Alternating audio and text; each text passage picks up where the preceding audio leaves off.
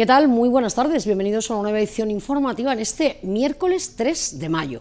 Vamos a comenzar hoy contándoles que un total de 14 jóvenes, entre ellos 6 menores, han sido detenidos el pasado viernes 28 de abril por la Policía Nacional en la barriada de Teatinos por un eh, presunto delito de riña multitudinaria en el que habrían participado supuestamente tras haberse citado a través de las redes sociales. Al parecer los hechos fueron protagonizados en las inmediaciones de la Fuente de Colores por dos bandas procedentes de dos distritos diferentes de Málaga capital. Los arrestados, 12 españoles y dos argentinos, tienen edades comprendidas entre los 14 y los 21 años. Los agentes intervinieron objetos contundentes y armas blancas, usadas en una pelea que, según las primeras pesquisas, pudo iniciarse por un conflicto sentimental. La Junta iniciará el diseño de la estrategia frente al desafío demográfico. El objetivo es lograr un reparto equilibrado de la población con igualdad de oportunidades y servicios en todos los territorios. La Junta ha aprobado la formulación de la estrategia frente al desafío demográfico en Andalucía, instrumento general de planificación para diseñar políticas destinadas a un reparto equilibrado de la población en el territorio, principal reto que afronta la comunidad, donde conviven comarcas de interior que llevan años perdiendo habitantes con zonas costeras y grandes ciudades cuyo crecimiento provoca una demanda de servicios cada vez mayor. El gobierno andaluz entiende necesario anticiparse ante los cambios demográficos y abordar con un enfoque integral un equilibrio entre espacios rurales, provincias del interior, montaña y zonas costeras. Así se busca lograr que además de un sitio ideal para vivir, Andalucía sea vista como el mejor sitio para trabajar y emprender, aprovechando las oportunidades de las nuevas tecnologías. Y es verdad que Andalucía es una comunidad autónoma que ha crecido y ha crecido mucho. Eh, la comunidad autónoma que más ha crecido en población de, toda España, uno de los territorios que más ha crecido de la Unión Europea, pero es verdad también que frente a ese crecimiento que se ha experimentado en el conjunto de Andalucía, hay una parte, una parte muy significativa, el 54% de los municipios de Andalucía ha perdido población. En concreto, en ese periodo de tiempo han perdido 139.000 habitantes, más de 139.000 habitantes. Se trabajará sobre una base europea y las acciones se dirigirán al 1% de población, que suponen 7 millones de habitantes, que muestran signos de querer vivir en zonas rurales. Y en ese ámbito vamos a centrar nuestra actuación, con un objetivo que creemos que es bastante asequible. Nuestro objetivo es que de ese 1% de la población europea sobre la que vamos a actuar, tener éxito en la atracción del 0,00001%, es decir, Buscamos 7.516 eh, aproximadamente personas de ese ámbito en el que trabajamos que quieran venirse a vivir a las zonas rurales de Andalucía. Con eso contrarrestamos de sobra los 6.320 habitantes que se perdían al año en los últimos 22 en esa zona se elaborará una estrategia que abordará objetivos específicos centrados en el apoyo a las familias y la conciliación, el bienestar y la calidad de vida de las personas mayores, la ordenación del territorio, urbanismo, vivienda, conectividad digital y entorno natural, entre otras.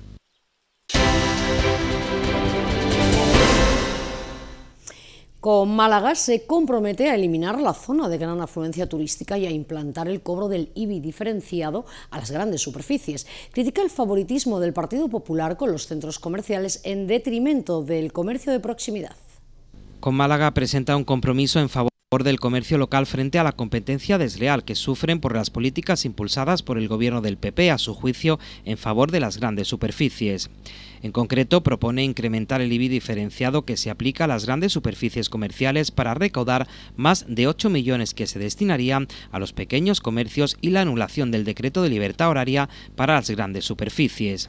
Lo recaudado se destinaría a un plan de apoyo al comercio de los barrios para la digitalización, la promoción, ayudas directas y rehabilitación del pequeño comercio. Que podamos incrementar los ingresos del ayuntamiento, quien más tiene sea el que más paga, no puede ser que pague lo mismo Carrefour o las grandes superficies que una familia en dos hermanas, que pague más quien más tiene y que esos recursos se dediquen al apoyo al pequeño comercio en nuestros barrios. Morillas destaca que el comercio local de Málaga ha vivido en los últimos años tres crisis. La pérdida de ingresos derivada de la pandemia, la inflación a causa de la guerra de Ucrania y una tercera provocada por la acción de gobierno del Partido Popular con medidas como la ampliación de la zona de gran afluencia turística que ha generado un auténtico problema de competencia desleal con las grandes superficies que ahora tienen barra libre para abrir cuando quieran en la ciudad y los efectos de la subida de los precios se están notando en todos los sectores, sobre todo en el comercio y muy especialmente en el pequeño. No se escapan los mercadillos que a diario se enfrentan a la alta inflación. Pese a que el IPC moderó el pasado mes su subida, los alimentos siguen casi un 17% más caros que hace un año. Los motivos, entre otros, la subida del precio del carburante y la electricidad, que aunque también se ha moderado, aún no se ha notado en los precios de venta. Los más afectados vuelven a ser los pequeños comercios que engloban a los mercadillos.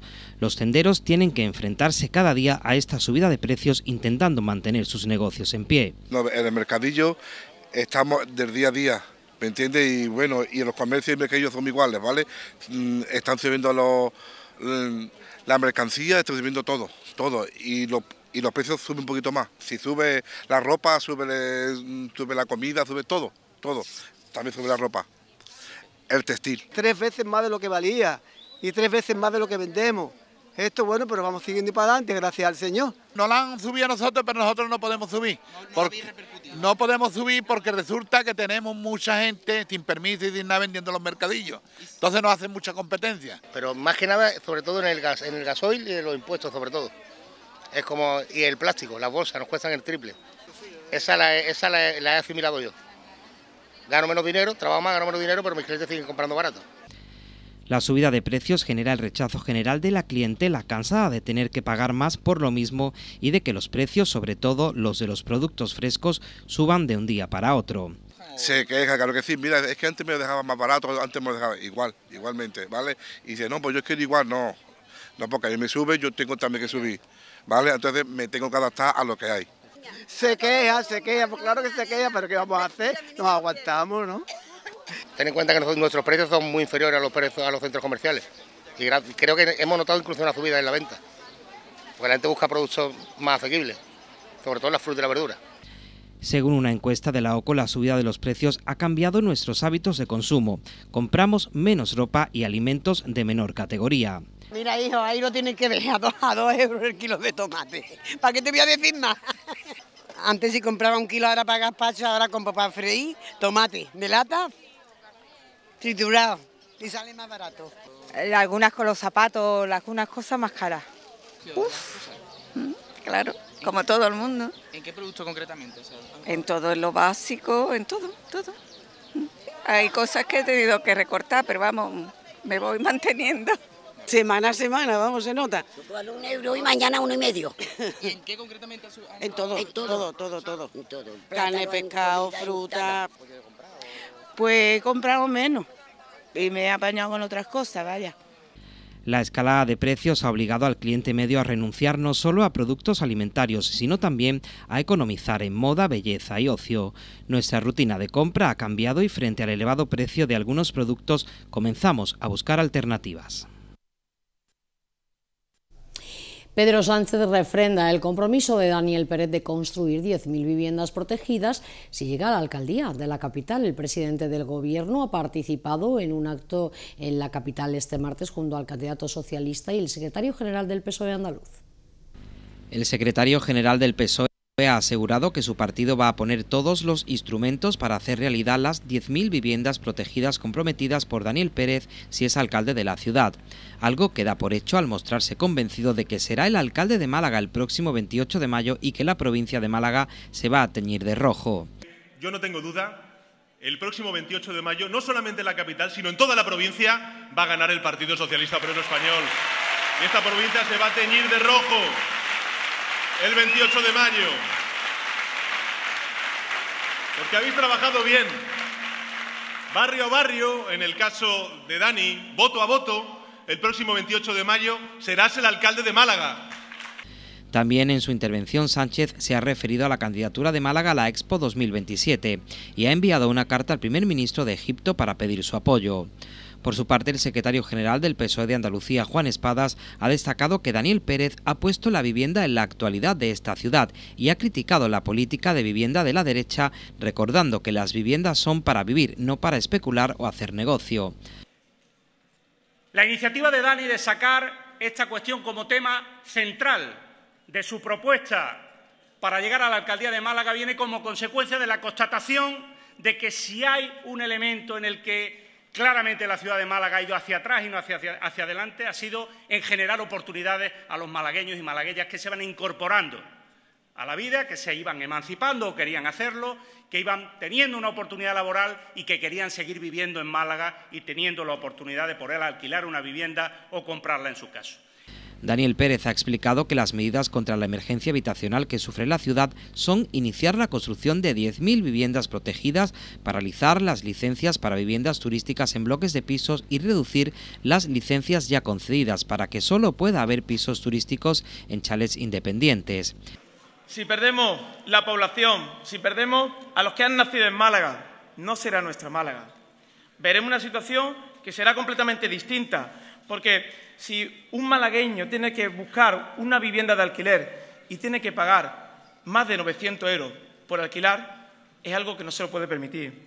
Pero si tiene que elegir entre pagar el alquiler y dar de comer a su hijo, es algo que es dantesco. Eso lo hemos escuchado en el Pleno del Ayuntamiento de Málaga. ¿Y sabéis lo que ha hecho la derecha? ¿Sabéis lo que ha hecho el Partido Popular? No ha hecho nada. Pérez insiste en que ya está bien de especular con la vivienda y cree necesario un pacto entre todas las administraciones públicas, fuerzas políticas y agentes económicos y sociales para resolver el problema. Ha recordado que el precio de la vivienda en Málaga capital ha subido un 67% en ocho años y un 30% el alquiler en el último año.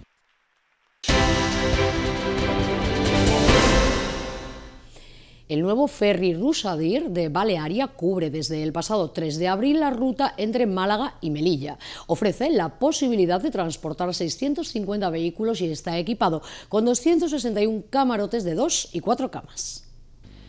Desde el pasado 3 de abril, el buque Cruise Ferry Rusadir de Balearia cubre la ruta entre Málaga y la ciudad autónoma de Melilla. Un barco eh, con propulsión eléctrica, eh, con dos motores duales que pueden consumir combustible fósil o mm, gas natural. Eh, un barco que por comodidad se puede asemejar a un hotel de cinco estrellas. Un barco de nueva construcción, eso es importante, que se está estrenando en esta línea. Y, bueno, eh, con el que estamos todos eh, encantados. Este es, tecnológicamente yo diría que en Europa debe ser de lo más puntero. Fletado por Balearia, este buque de 187 metros de eslora y 31 de manga fue construido entre Alemania y Noruega y además de realizar trabajos en línea regular, podría efectuar cruceros turísticos. Destaca por ser un buque totalmente eléctrico disponiendo de una planta con motores duales a gas, una tecnología versátil que le permite alternar en consumo de fuel y gas natural. Tiene capacidad para 1.670 pasajeros y la posibilidad de transportar 650 vehículos. Igualmente oferta una acomodación con 261 camarotes de 2 y 4 camas y dos tipos diferentes de salas de butacas. El puerto de Málaga ha superado el bache de la pandemia de 2019 y ha batido un nuevo récord con 46 escalas realizadas por 35 cruceros. Las perspectivas son positivas en todos los sentidos y en cuanto a pasajeros también se espera superar las cifras de 2019. Ayer mismo coincidieron cinco cruceros con 7.000 pasajeros y no será un caso aislado. A lo largo del año se esperan varias jornadas con cuatro y cinco cruceros. Cuando se da esa circunstancia, dos o tres de los barcos que coinciden suelen ser de lujo y de menor tamaño. Eh, este año, a lo largo de todo el año, vamos a tener varias jornadas con cuatro y cinco cruceros, lo cual es, es muy importante. Y es es muy importante porque también cuando tenemos cinco normalmente coincide con que dos o tres de ellos son de lujo y de, un tamaño ligeramente menor. Con lo cual es verdad que la ciudad no solamente los acoge muy bien, los recibe muy bien, sino que en ningún caso saturan, porque es un turismo totalmente diferente el que viene en un crucero grande, que son los que tenemos en la terminal, o los que vienen esos cruceros de lujo que atracan más bien en, el Palmeral de las Sorpresas, en el Muelle 2, o, más cercanos aquí a la ciudad de Málaga aprobado el nuevo decreto de precios públicos universitarios que ahorrará casi 47 millones a las familias. El Consejo de Gobierno ha autorizado esta norma que incluye la rebaja de los másteres habilitantes y congela el coste de las matrículas. La norma que se aplicará el próximo curso 2023-2024 hará que las matrículas no suban.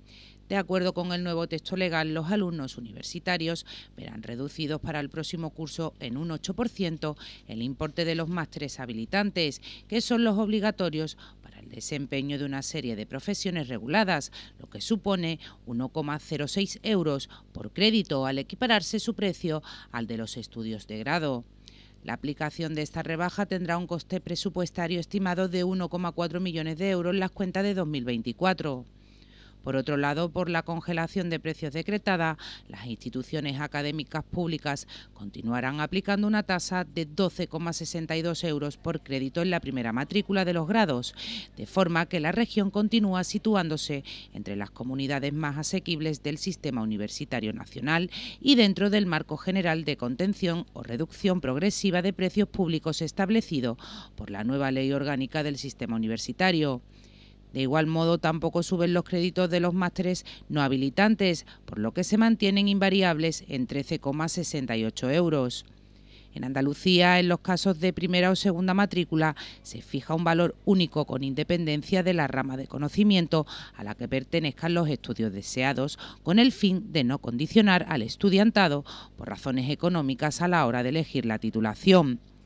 Igualmente, el nuevo decreto mantiene la bonificación del 99% del coste de los créditos aprobados en primera matrícula, tanto en grados como en másteres a todos los estudiantes que no sean becarios del Ministerio o a los becados por el porcentaje no cubiertos por esa ayuda. Gracias a esa bonificación, un alumno con buen rendimiento puede realizar sus estudios de grado abonado casi únicamente el primer curso con un ahorro total de hasta el 75% del precio y realizar un máster prácticamente gratis. La Noche en Blanco traerá un centenar de propuestas culturales con el lema La Buena Vida como protagonista. El programa completo se podrá consultar en la aplicación Noctiluca o en la web lanocheenblancomálaga.com. La buena vida será el hilo conductor de las 143 actividades de la Noche en Blanco, que este año vuelve a su habitual cita en mayo, concretamente el próximo 20. La mayor parte de las actividades girarán en torno al tema elegido por votación popular y que han contado con el diseño de artistas creativos y empresas de producción, de las que un elevado porcentaje son de Málaga. Es un gran acontecimiento cultural, es un gran encuentro de la población de Málaga y del entorno de Málaga con la oferta cultural de la ciudad. Así lo vemos. Es como una reafirmación de la vocación de Málaga de ser potente en cultura.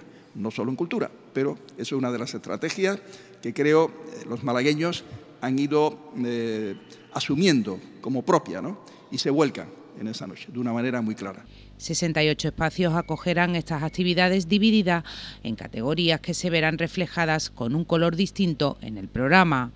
La Plaza de la Marina seguirá siendo uno de los enclaves especiales para esta noche, donde el grupo Los Vivancos ofrecerá un espectáculo de calle especialmente creado para la ocasión. La calle Alcazavilla, por su parte, se consolida como el espacio creado para la creación instrumental y de coral. La noche en blanco comenzará a partir de las 7 de la tarde hasta la 1 de la madrugada y todos los espacios que participan serán gratuitos. Y conocemos a continuación otros temas destacados de la actualidad de forma resumida. Alberto Núñez Feijó y Juanma Moreno arroparán este viernes al alcalde que se presenta candidato a la reelección en las elecciones municipales del 28 de mayo. En concreto, De la Torre presentará su candidatura en un acto que dará comienzo a las 7 de la tarde en calle Alcazavilla. Los hoteles andaluces registraron este puente primero de mayo su mejor serie histórica, con una ocupación media del 82%, mientras que los establecimientos rurales alcanzaron una ocupación de cerca del 54%. Málaga y Huelva fueron las provincias que lideraron las pernoctaciones en hoteles y Jaén fue la estrella del destino rural. La Escuela Oficial de Idiomas de Málaga abre el plazo de solicitudes de cara al próximo curso. La principal demanda es el inglés, que ocupa aproximadamente la mitad de los puestos ofertados dentro de las 11 lenguas disponibles. El centro público ofrece tres modalidades, presencial, semipresencial y online. El plazo finaliza el 20 de mayo. La Cueva del Tesoro de Rincón de la Victoria ha recibido durante el puente del 1 de mayo un 35% más de visitas que en el mismo periodo del año anterior. Más de mil personas se han adentrado en la cavidad durante estos días. Los buenos datos acompañan a la cavidad que en 2022 registró también un récord en el número de visitas con casi 72.000.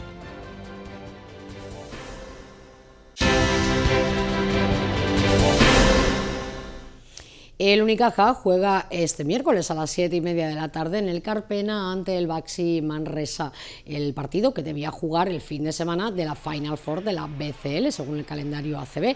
Llega el cuadro de Pedro Martínez, entrenador de culto, que el año pasado completó una obra maestra construyendo un equipo que llegó a una final europea, peleando este año por un objetivo más acorde a sus posibilidades económicas, la salvación. Es un partido que puede tener peligro, un rival de la zona baja, de los que en este tramo de temporada sacan las uñas porque pelean por la supervivencia. Ivonne Navarro no podrá contar con Alberto Díaz y Darío Brizuela, que es posible vuelvan a la cancha el domingo ante el Real Madrid. Y el Humantequera cayó derrotado en la cancha del eh, Palma Futsal, en el Fernando Argüelles, perdón, por 1-2, con doblete de Gordillo y un tanto de Cobarro. El equipo insular mantuvo la ventaja que adquirió en la primera parte y resistió el empuje de los guerreros universitarios en un encuentro en el que le faltó suerte en la finalización, en especial en las últimas acciones. La mala fortuna se cebó con los malagueños que lucharon con garra hasta el final eh, del campeonato. La derrota por la mínima en el Argüelles frente al Mallorca deja al Bishoker Antequera sin ventaja sobre el descenso con el empate de las Pil Jumpers eh, Rivera Navarra con Industrias Santa Coloma. Los de Tete deben centrar toda su atención en el compromiso del próximo viernes 5 de mayo a las 9 menos cuarto de la noche en la cancha del Levante. sabíamos que jugábamos ante un gran equipo como es Palma, eh, un equipo que, bueno, que la semana que viene va a jugar la, Final Four de la Champions eh, y que va segundo en la liga luchando por la primera plaza con el Barcelona. Eh, con eso ya está todo dicho, el rival de la entidad que nos enfrentábamos. Pero bueno, yo creo que, ha sido un partido como esperaba, la verdad. Es un partido que iba a ser difícil y generar ocasiones porque eh, tienen un, nivel defensivo eh, muy alto, te, someten a, gran presión. Bueno, pues la verdad que estamos un poco fastidiados, ¿no? Pero bueno, sabíamos de la dificultad del partido, de, de, lo que se jugaba ellos, que también están luchando y por la, por la primera plaza, sabíamos que era un partido súper complicado. Hemos llegado vivos hasta el final, al final era el objetivo de, que nos marcamos eh, eh, tanto jugadores como, como, cuerpo técnico, llegar a los últimos compases de partido dentro, dentro del encuentro. Pero bueno, ahí con el juego de 5 hemos tenido dos o tres ocasiones para, para empatar y, y no ha podido ser.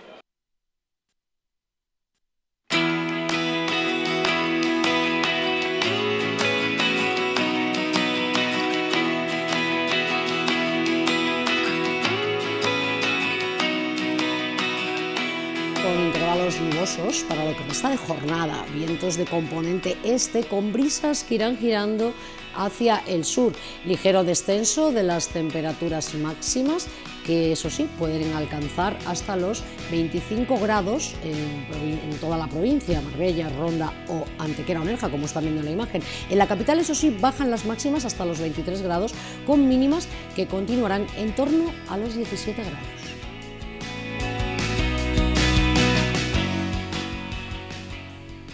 Y el Centro de Arte Contemporáneo de Málaga acoge The Must Be a Spanish Word for This Feeling, la primera muestra en un museo en España del artista alemán afincado en Los Ángeles, Friedrich Kuna, que se puede visitar en este lugar hasta el 21 de mayo. Esta exposición reúne una selección de 20 pinturas realizadas en la última década, algunas de ellas inéditas. Su obra oscila entre el romanticismo alemán y la cultura eh, popular estadounidense. Con estas imágenes les recordamos que pueden visitar en el CAC Málaga hasta el 21 de mayo. Nos despedimos, recuerden, mañana volvemos con más noticias. Hasta luego.